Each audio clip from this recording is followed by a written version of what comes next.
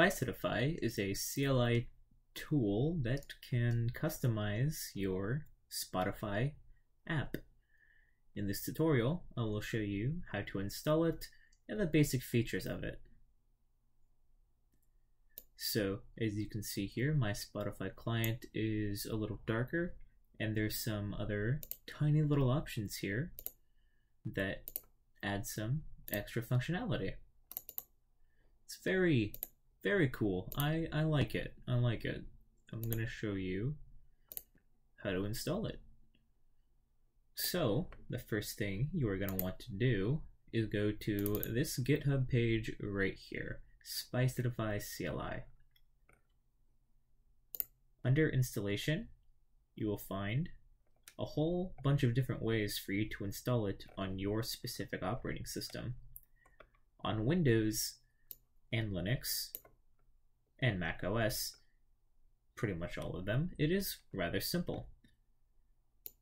You're going to want to copy this string of text right here, and then you're going to want to open up PowerShell.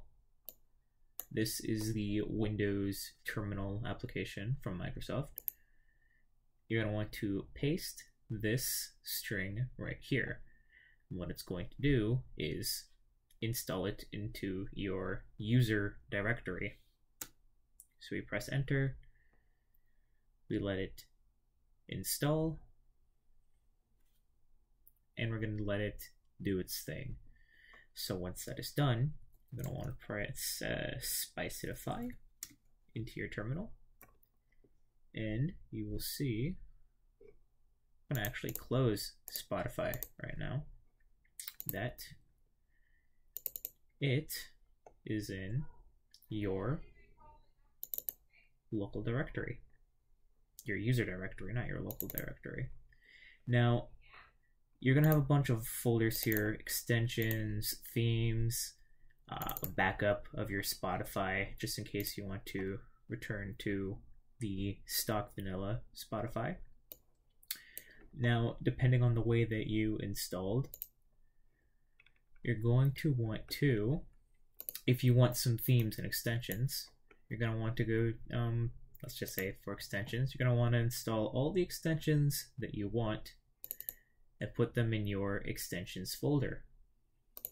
After that, you can go to your config ini file and you can type in the extensions from here that you want to work with.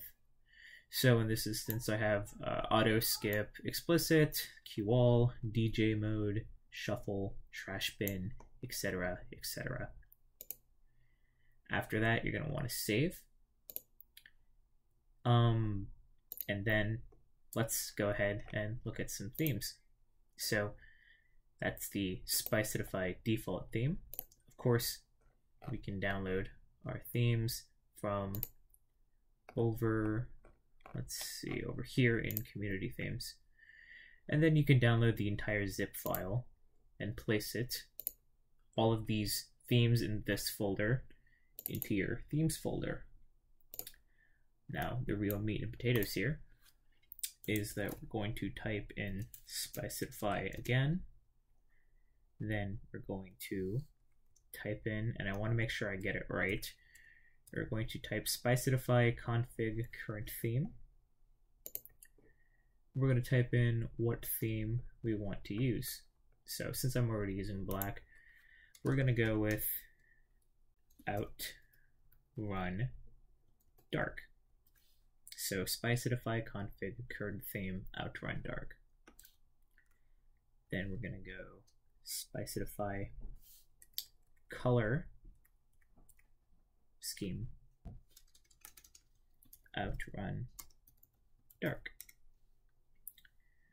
And if we did everything correctly, we will type in Spicetify apply.